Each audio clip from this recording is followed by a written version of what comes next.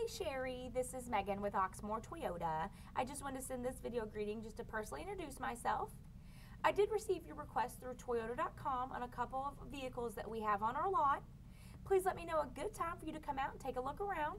You can either reply to this email or contact me at 502 214 7085. And I look forward to hearing from you very soon. Bye.